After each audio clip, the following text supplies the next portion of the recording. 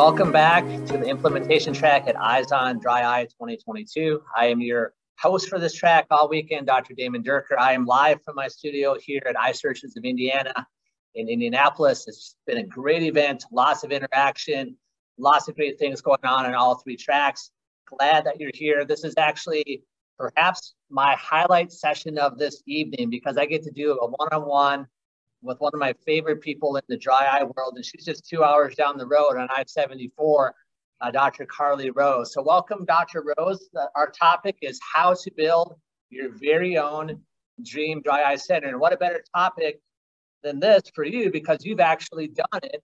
And I can't wait to hear how that process evolved over, over time in your practice in Cincinnati. Carly, welcome.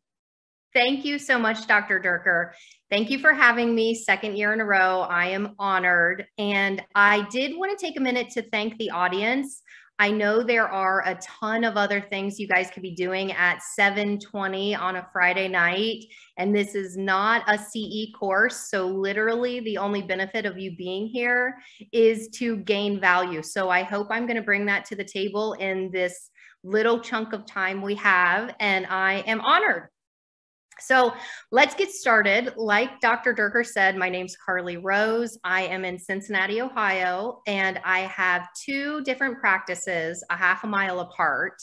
I have a primary care um, typical optometry office, and then I just opened a dry eye med spa. So we are going to talk about, I was trying to brainstorm what we could talk about, right? So when Dr. Dierker asked me to do this presentation, all he really gave me was an idea for a title. So we could literally talk about anything. And because it's unbranded and non CE, we can literally talk about anything.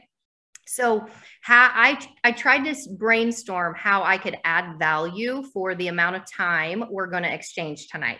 So I hope I do that. I wanted to first say that there is a chat box. Please use that feature. That's kind of why we're here is to have a little bit of a back and forth.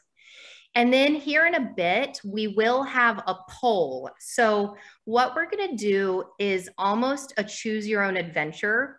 If you ever read that style of book as a kid, I kind of wanted to do that here. I really wanted to talk about what you want to hear about. So the poll at the beginning is going to be an option of choices of topics to discuss towards the end. So utilize that poll if you have any opinion on what you want to hear tonight. So, like Dr. Dierker said, I morphed from private practice into truly a standalone dry eye clinic. So, a little bit about my background is four years ago now, I purchased my sister's private practice. She opened an office cold and discovered that she did not, in fact, like the practice management side and the insurance and staffing and hiring and firing. She really just liked pri- uh, the, the patient care side. I always knew I wanted to be a private practice owner. And so I actually had to convince her to sell it to me it worked out beautifully. And almost right from the beginning, I started an internal dry eye clinic. So I have always been passionate about dry eye. I purchased my private practice. Within a few months, I purchased a LipiFlow and LipiScan, and it just has snowballed from there we um, are only we were we are an only 750 square foot private practice office. So with two exam lanes and visual field and oct and optos and a full optical we were absolutely bursting at the seams. And so what you are watching here is a little walkthrough video of my solution to a very tight space limitation I um I was hoping to expand my footprint of my private practice, but that wasn't an option. So within COVID, a half a mile down the street, the med spa you're seeing here was a day spa in my town and it never reopened from COVID. So I over a series of events came to end up renting this space and morphing it into a dry eye med spa and um, it's been a little bit of a wild ride. But what you can see here is I'm most excited about a lot of space. This is 3,300 square feet. And so my hope for it is to just grow and be able to advance within this rapidly evolving industry of dry eye. And so I found myself in private practice just wanting to continue to invest in different technologies and essentially not being able to because of a space constraint. So this is my solution to a space constraint that ended up being a happy accident because it has morphed into kind of something I would have never imagined had I continued to build it within my private practice. So if anyone joined us last year, my talk with Dr. Dierker and Cam Solani was how to build a really rock solid dry eye clinic within your primary care setting. Now we have evolved to our next stage and it's a standalone dream dry eye center. So this is the time where I definitely want to start the poll. We are for sure going to talk about um, vision planning for if you want to launch a dry eye med spa or just a standalone dream dry eye clinic. We're going to talk about some financials and we're for sure going to talk about some technologies you can implement. The fourth topic we're going to talk about is your choice. So, Dr. Dierker, if you wanted to read the choices out. Dr. Rose, so we have the poll. Um, and the poll, we've actually had quite a few results already, and we started the poll a couple minutes ago. 62% of our audience, which is a worldwide audience, by the way, if you, um, just to remind everybody, this is, I don't know what time it is in South Africa or Australia, but we have people on this session right now. I think that's incredible. I did not know that this was global. So I would be very curious to see where everyone is right now in the chat box. And I want to see where the furthest away person is. This is fascinating. Furthest away person. Love it. So Let's we have um, 61% said they wanted to start with their choose their own adventure as to what services you're actually offering in your dream dry eye center. So, like in, in the aesthetic realm specifically, dry eye aesthetics, 61%, Perfect. far so outweighed every other choice in that pool. Perfect. So instead of focusing on marketing or implementation, we will focus on aesthetics specifically. Awesome. Okay, so let me go ahead and get started on vision planning. I think of this as almost like the brainstorming phase, and I think it is so important. I often joke because I have a private practice office that I'm working in, and I have this kind of cold start dry eye med spa that is almost a whole new industry. It's been a wild ride. I've been telling people that it's like I have a toddler and an infant. The vision planning stage I'm talking about is the pregnancy right? So my vision for this exact space has been going on for about four years now. I knew I wanted to go really deep in dry eye and become almost like a referral center and just make it an amazing patient experience. I had the vision of this space planned out to extreme detail four years ago, right? Um, what that includes is your why. We're going to talk about this in a second on the next page. And then you want a very robust business strategy. And I'm not talking about a business plan for the loans you're going to be getting. To me, that is um, kind of all fake, right? With that, you're writing down what you think the banks want to hear. What I'm talking about is your actual vision of your dream med spa or I keep saying that because that's my world. So sorry. I mean, just dream dry eye clinic in general. It does not have to be specifically aesthetics or med spa. And what you want to do with that is create a very detailed, maybe three to five page document on what the patient experience is, what services you offer. Um, are, who are you marketing to? What does it look like? What does it sound like? What does it smell like? As many details as you can in this document and then you want to take that and distill it down to your mission statement. So each of my mission statements at both of my locations took a lot of time, a lot of thinking, and a lot of staff participation because I think that this piece of it is so important. When you're going down that this path, what's going to happen is you will have extreme highs and lows, right? Anyone that's in business knows this And in the lows, you need to have something to fall back onto. And so you want this really clear mission on why you're doing this that will pull you through the downtimes.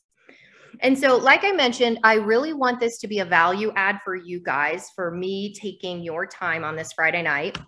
So, what I wrote down here are resources that I actually used during my this whole journey.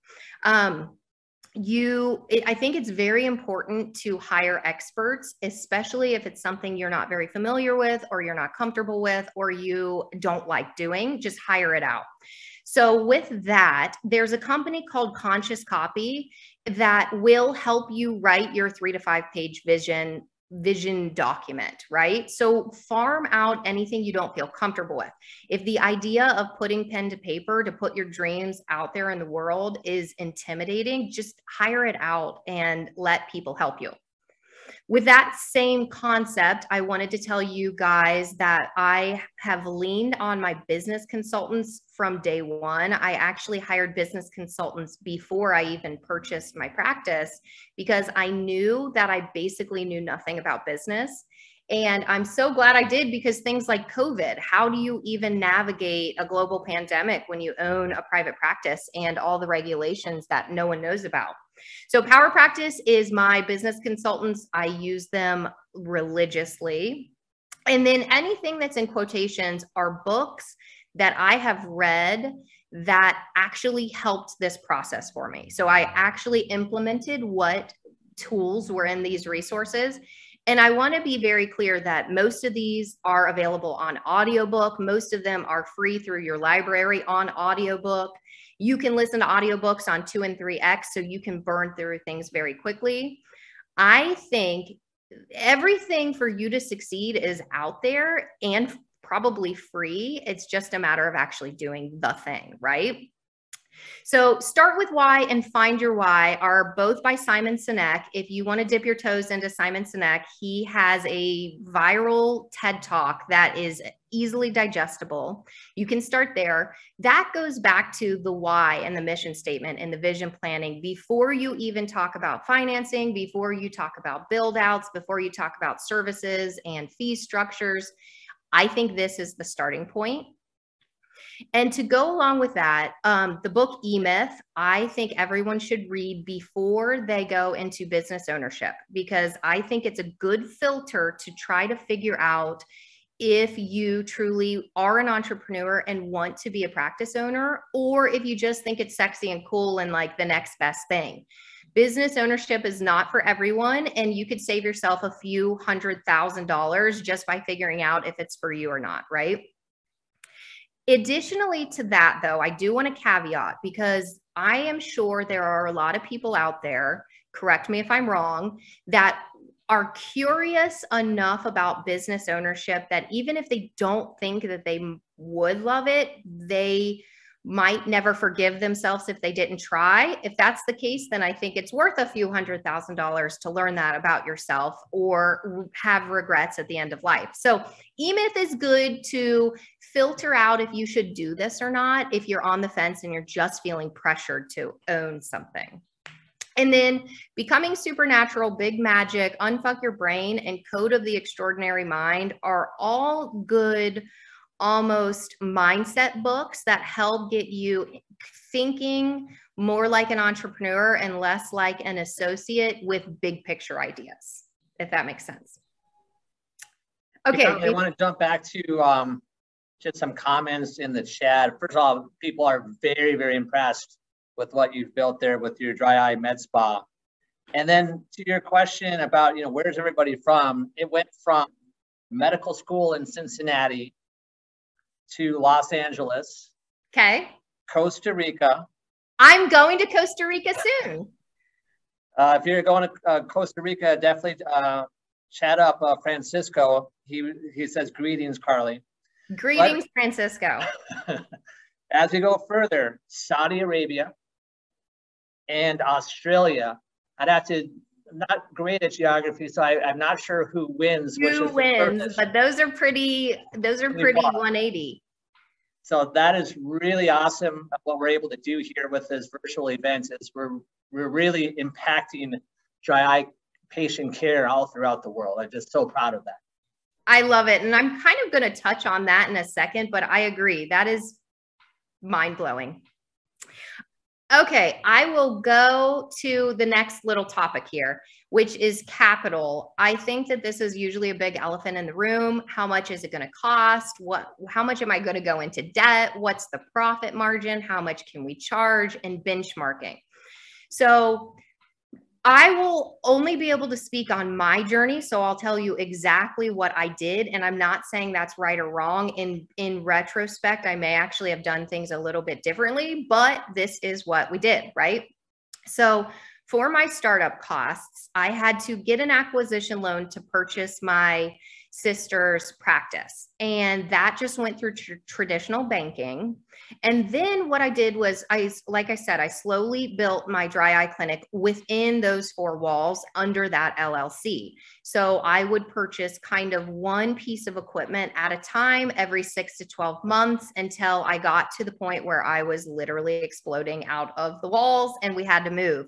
So it's been a slow build for me financially. Um, and so it's kind of like tack on a little bit of an expense to be able to grow the revenue, tack on another expense, grow the revenue. And it's been a stair step process, which has led me to be able to open this space at a relatively low cost because I had already done the um, technology investment for the most part. And then when I got to this space, all I really needed to do was build out in furniture and computers, which still added up to be quite a bit, but not nearly as if I had to then also buy multiple pieces of equipment all at once.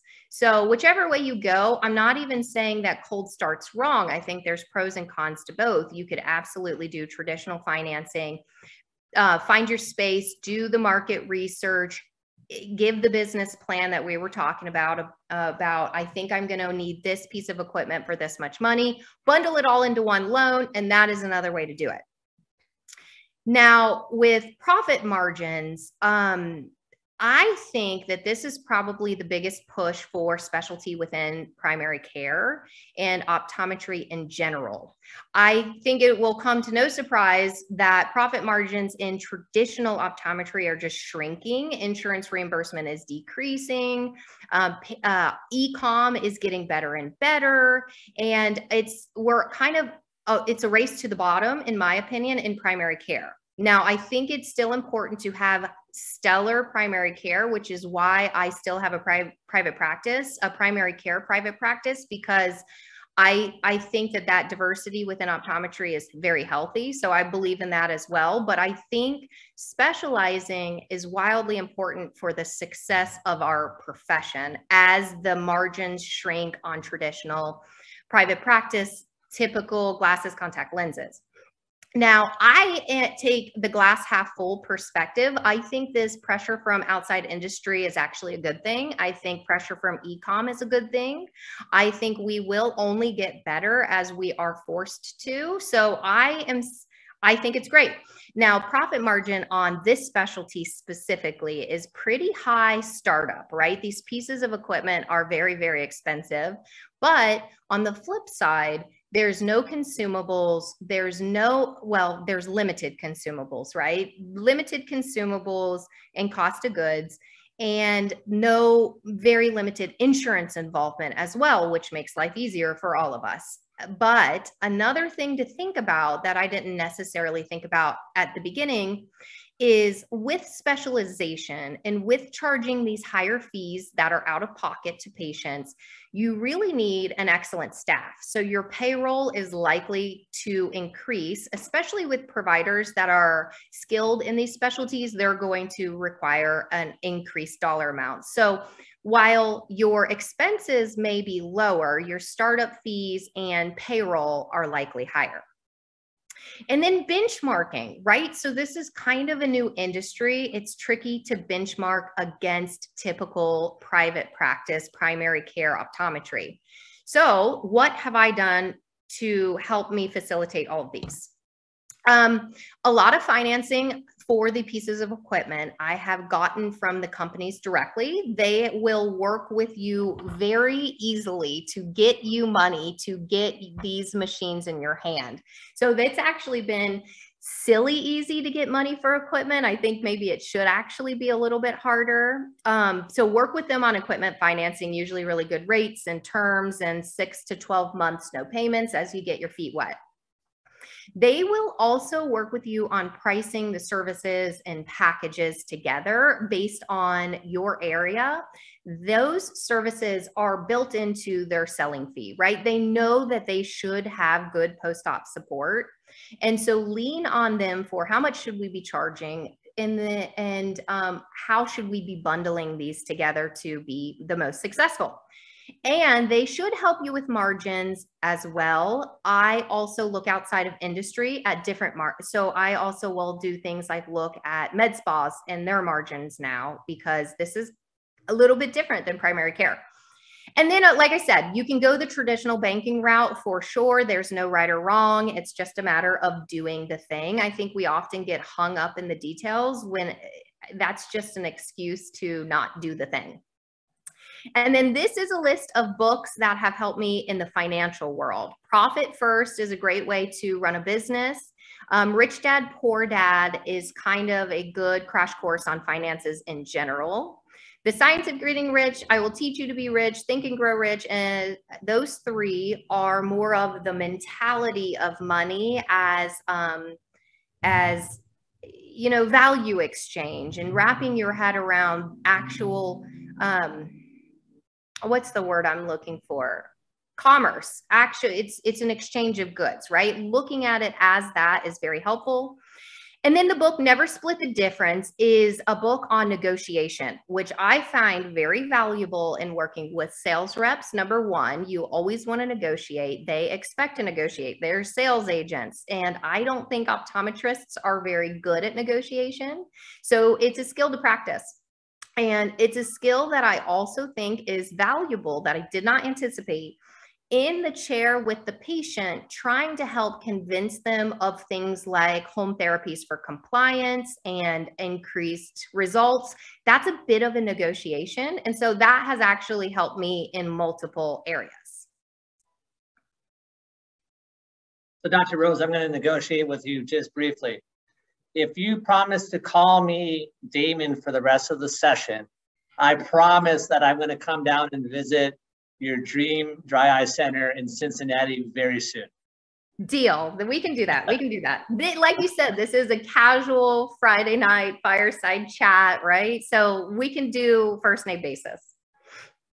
Uh, a comment from um, Susan is you're an inspiration for lady eye doctors. And I made the point is I think Carly's really an inspiration for everybody in this space. So thanks again.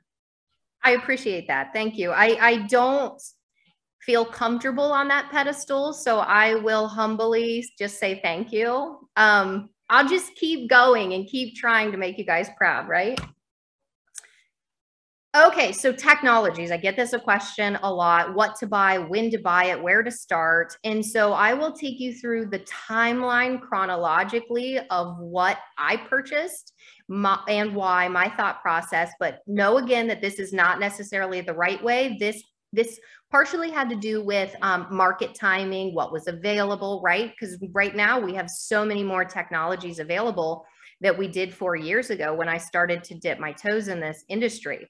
So, what I bought is indic- indicative of what I knew then, what was available then, and how it all shook out. So, you, can mostly look at these pieces in two different categories diagnostic and, tr- and therapeutic treatments. So, my very first piece I purchased, and like I said, this is unbranded and non CE, so we can have full open conversations about which companies and um, good stuff that we don't have to worry about uh, disclosures. So the very first piece I bought was a LipiFlow and LipiScan combo. I actually always wanted a LipiFlow because I did, it was one of the few dry eye technologies that's been available since I've been practicing. And I just thought it was gold standard. It still is gold standard. I, I didn't even question my decision. I didn't look at other thermal pulsation um, options. I decided if I wanted to be the best, I wanted to have the best, and I just went essentially name brand, right? And that um, obviously came with my my my meibographer, the LipiScan, which kind of rocked my socks off, and that is also when I started implementing a standardized questionnaire because um, TearScience, now Johnson and Johnson, suggests the speed score. They give you speed score um, templates, and I just ran with that. And I think that made a huge difference in my success.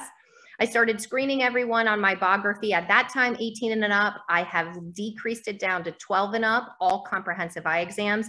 That still happens. Even though I pulled all of my dry eye technology out of my primary care office, I actually left my LipiScan down there to continue that screener because I think it is an important piece of a comprehensive eye exam. So that opened the conversation. I started speed scoring and we slowly brought that habit in with my staff.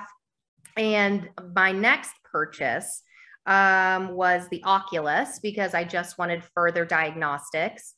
The Oculus brought to me, it didn't actually change my treatment paradigm. What it did for me was showed the patients their actual eyeball, and that gave all the buy in.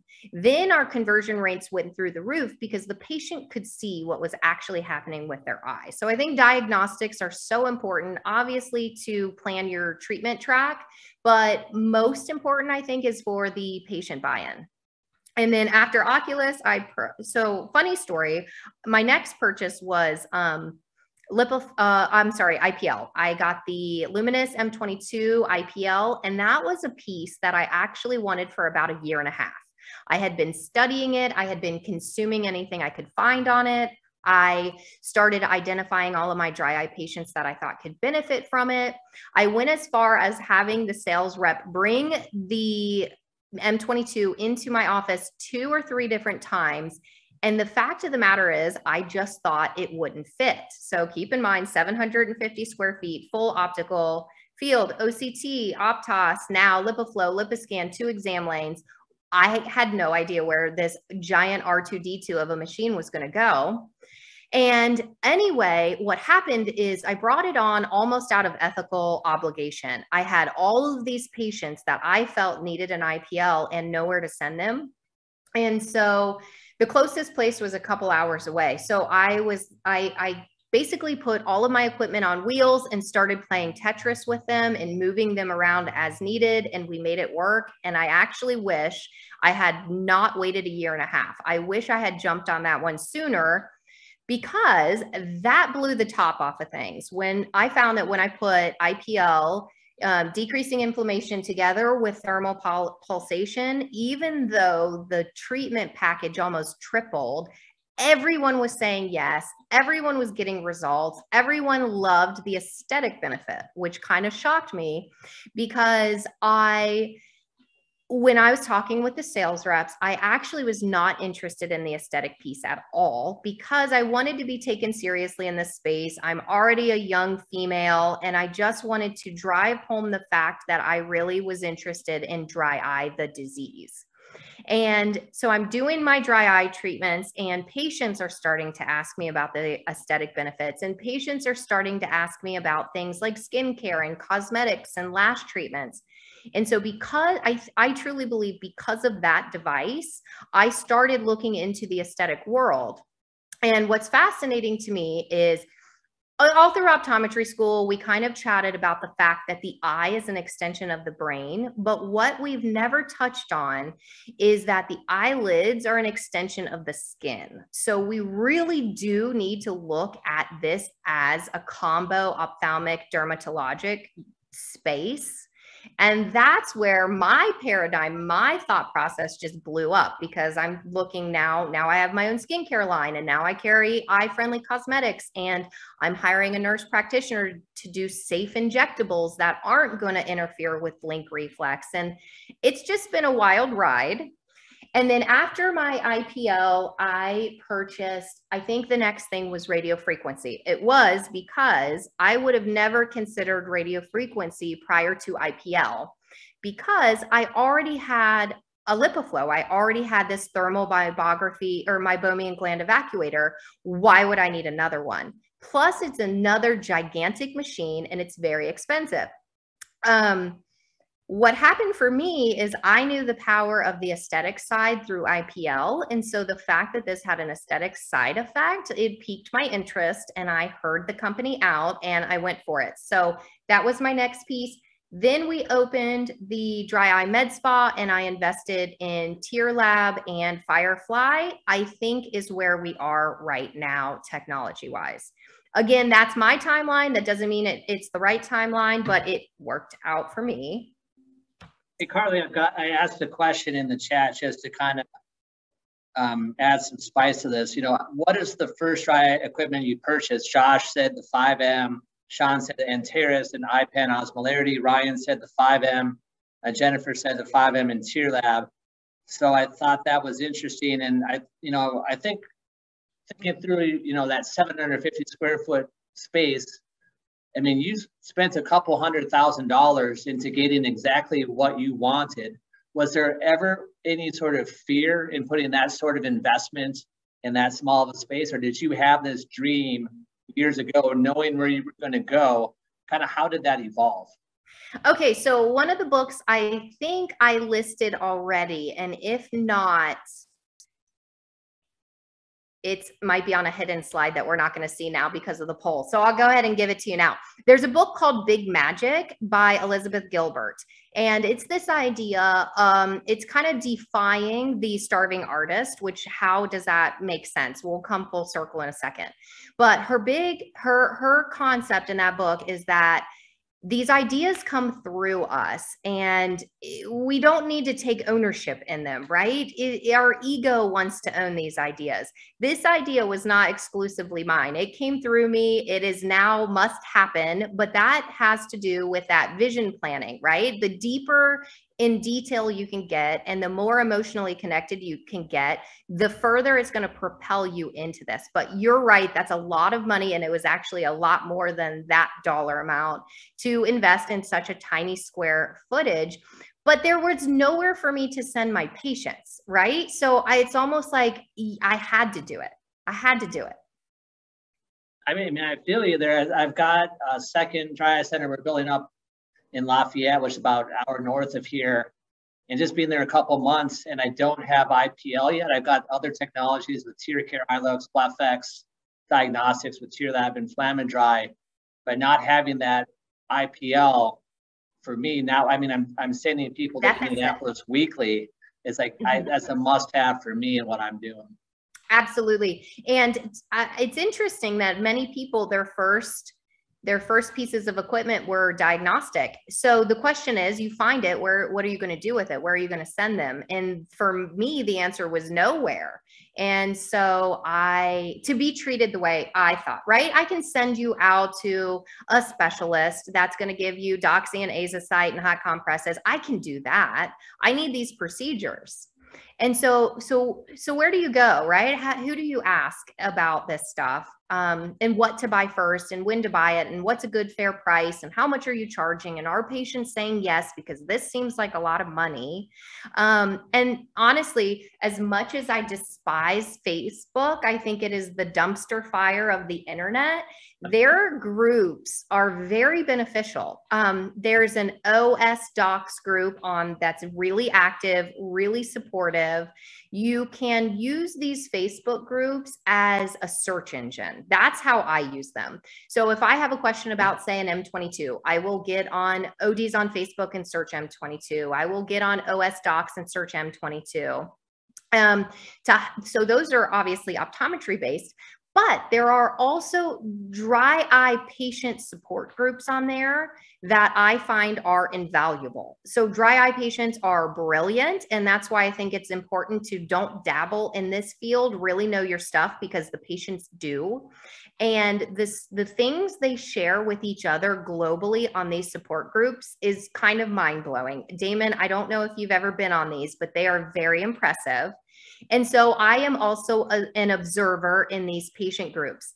I want to caveat because I it makes me a little nervous telling other doctors to do this because I really want these spaces to be a protected space for patients to also be able to vent about their doctors, right? And be able to vent about their disease and the struggles they're going through. And I don't think we should go in there and kind of take over the conversation. I think we should politely listen, observe, help this community and chime in where we can, but mostly just observe from from those perspectives. In my opinion, that's kind of been a sacred space. I've avoided that. Yes. And I know that I have quite a few referrals that come in. Hey, I saw you in the Facebook group. I don't yeah. know how many people didn't come in to see me because they saw something negative. I guess that's possible. But um, you know, I've I've stayed away from that intentionally. I do engage with the other uh, you know doctor focused groups that you spoke of but the patient ones I've just stayed away with myself. Uh, Carly, uh, as we're talking about technology and you know people are adding RF and things of that nature, there's a couple questions about low-level light therapy. Was that something that was ever? Yes, so sorry. We, we have that too. So sorry. I knew I was forgetting things, and I probably still am. Um, low-level light therapy is one I've just ever so slightly dabbled in because I am such a big IPL user and believer. Uh, but I think there's a benefit, especially because of the aesthetic side so that's actually why I um, brought it on is because there's this crossover. In anything where there's a crossover, I am all in. And so I do have it. I am just beta testing patients right now to see where it does fit in with IPL, with RF, with home therapies. So right now I'm beta testing it, but I I think it has a place in this industry. Great. And then I also took Crystal Brimer's Dry Eye Institute and Shadowing Doctors. So as Damon said, we're only a couple hours apart. He can prob he can personally attest to how many times I've called and text him questions about what to do where all through this process. Dr. Karpecki uh, humbly allows me to observe whenever I ask, which I am honored. Um, just ask around. I think there should be no gatekeeping in this industry because rising tides lifts all boats. And in us teaching each other how we are successful is what's going to push not only the industry forward but also this specialty diving into subspecialties. As you can see not only am i doing dry eye i'm adding in aesthetics which is such a weird thing. It's nothing we ever learned in school and the only way to learn is from talking to each other. So i highly recommend that. One more question in this space. Uh, vanessa asked how do you decide when to use IPL versus low level light therapy versus radio frequency or some combination of those. Or LipiFlow or iLux. I know that's really the confusing part, right? I have all of those. So the way I typically do it is I put it together in a package for IPL and one thermal pulsation option. I let the patient choose if you want on-label LipiFlow or off-label RF. I will go over what I think. If I am leaning towards, say, RF for lid laxity purposes, I will say, these are your two options. If I were you, I would do RF because you have condylosis or lid laxity and an incomplete blink. So I would lean towards this. However, it's not FDA approved. It's likely to never be FDA approved because this is an aesthetic company and they don't really care, right? Now, IPL, if they have inflammation, I'm straight to it. Uh, LLLT is the piece that I am not sure. So right now I have a handful of patients that are really flexible with me and they know that like I'm exploring this space and learning as I go. And so they're cool with beta testing. Most of the time I will offer it for free and just get their feedback and see where it fits in. So I am still in exploration phase of LLLT. But I have the Celluma. Got it. Uh, yeah, let's move forward here because we only have 10 minutes left in this session. Okay, let's fast, go fast. so we wanted perfect timing because we're on the last space and I want to leave some a little bit of Q&A time. So like I said, I have subspecialized in dry eye and aesthetics because I think it's a natural fit. And I needed to learn about things like cosmetics and aesthetic offerings like lash extensions and lash serums all of these things cause dry eye. So you can offer aesthetic services without being in the dry eye space. I know plenty of optometrists that will do um, lashes, tattoo liner, and a million other things that could potentially cause dry eye, right? I think we all agree that lash extensions, lash serums like Latisse, and liner tattoos all have the potential to cause dry eye. I will personally never offer those because I only want to offer mutually beneficial services. So IPL helps both, RF helps both. Uh, the lid hygienes I choose nourished lashes, healthy mascaras. So there is a massive crossover. So this is where I say you have the vision, you have the technologies, you have the financing. Now what? This is specializing even further. This is where you can really, really niche down and set yourself apart. And the world is your oyster as long as you're willing to face that fear. So Damon, about said Dr. Dierker, you said to me, weren't you afraid investing multiple six figures into a 700 square foot office? Because that will absolutely cut us off at the knees. We are we were doing rfs in our waiting room behind like an amazon fake like um, foldable wall. It was ridiculous. It was not spa like it was not ideal but people are hungry for these healthy services the aesthetic aspect with the dry eye therapies to me, the fact that I was successful in that setting main meant that I just have to be successful here, right? No, that's so, great. I love it a couple books becoming a category of one in positioning both have that concept of really niching down when to hit the market i listen to as many i probably listen to more med spa podcasts now than optometry right? Optometry is old hat. We know what we're doing here. This is a whole new space for me. So i am learning as if it is day it is day one and i'm learning all that i can always making sure you know that you don't know everything is helpful. I also am a member of AmSpa, which is the American Med Spa Association. So I can go to med spa conferences on how to build a med spa. I think the important thing is to have the fear, know it's real. We all have fear, but do it anyway. You have to take the action. And then Apex, APX, that is um, kind of like business consultants for med spas. So they have been fairly low dollar, huge value add as I'm doing this startup process, right?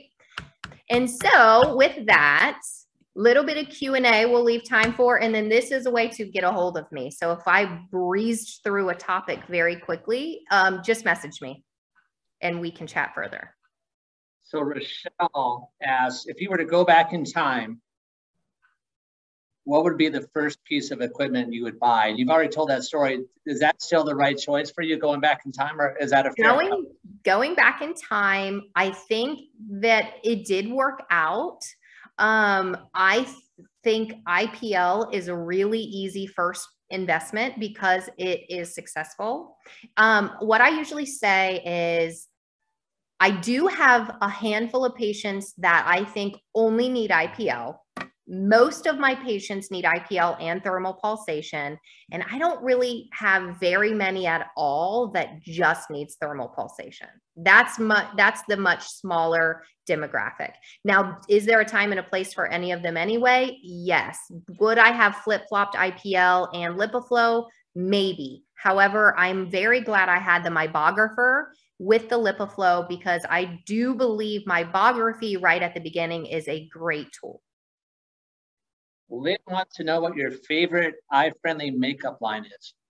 Okay, so um, Eyes Are the Story is a really good one. And then 2020 Beauty is another good one. Christina asks, are you offering aesthetic treatments full face or limiting it around the eyes? So I myself and my associate, Dr. Burt, are exclusively honing in on dry eye. We don't market, we don't upcharge aesthetics, we don't do any of that. We are bringing on a nurse practitioner and a medical director. They're both in the queues waiting. We just have to line out all these logistics that you don't ever realize are a thing um, to do aesthetics with the IPL. So she will, this, uh, my service provider will maximize my pieces of equipment that I have now on within her scope, right? So I can't play with the settings and do the um, hyperpigmentation or the hair removal. So this machine does so much more than our Ohio laws allow. Um, so because of that, what I'm doing, my workaround is getting a medical director and getting a nurse practitioner to be able to maximize the aesthetic side of these these machines, and then layer in injectables and peels and microneedling and PRP and all of the things. So, but to answer your question, I do not, but I will have staff that does. Uh, we answered Rochelle's question. Heather, that's a tough one would you pick Oculus or LipiScan if you had to choose one? If you had to choose one, I'm going to go rogue here and go LipiScan. Why is that rogue? Because so many dry eye docs are obsessed with the 5M. And I agree, it is great. It really is. But the it's to me, quantity over quality in that decision making because the LipiScan can capture so many more people very quickly tech friendly easy to incorporate in a comprehensive eye exam and you're going to cast a wider net. Great pearl there. Favorite med spa podcast?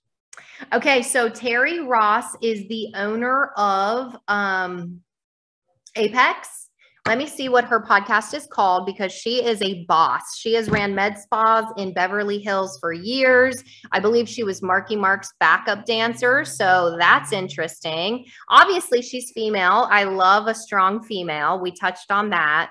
Uh, let me see. I, I just was listening to her podcast earlier today. So it's very fresh in my mind. Here we go. It is in Touch with Terri is a good one. In Touch with Terri. Yep. Favorite med spa podcast. Uh, I have not been paid by any of these companies. I need to throw that out there. I um I, I do actually, I wanted to tell you guys that part of the technology buy in. I think it is really important to talk to other doctors that are using these pieces to ensure that there is good post sale support. You don't want a company that sells you a product and then leaves and you never hear from them again. You want the training, you want the confidence, you want the pricing structure, marketing tips and tricks. So make sure whenever you're investing in, in a piece of equipment that the company offers good post sale support. I Irene is wondering if you are still using LipiFlow with some of the reimbursement things that we're seeing. Is that is that part of what's happening in Ohio? Um, I have not seen any reimbursement issues. I know Damon, you and I have talked about this quite a bit. I have not been affected by that at all. My LipiFlow usage has gone down significantly with me implementing RF, and I'm okay with that. But actually, I'm holding on to LipiFlow in case of decent insurance reimbursement to be able to offer some insurance services for patients that are really tight on funds. No, I mean, I, I love that you're doing so much now, but you're still thinking two, three, five years down the road because we're going to be treating dry eye as the majority of what we do as optometrists for the rest of our careers. I have no doubt about that. And that's yeah, that's my most exciting piece of this space is I have three or four rooms totally open to daydream and play. And I know you and I have talked about biomarkers and blood workups and nutrition therapies. I think that we are just beginning in this space. That is awesome. Any final thoughts as we wrap up this session, Carly? Again, I just wanted to thank you. I want to thank anybody that's stuck with us this whole time on a Friday night. I am forever honored. Thank you, Carly. Uh, how to build your very own dream dry eye center, Dr. Carly Rose in Cincinnati, Ohio. It's been a great session. Stick around, go to the exhibit hall if you'd like. We'll be back here in about 15 minutes with how to implement a dry eye protocol in a surgical practice.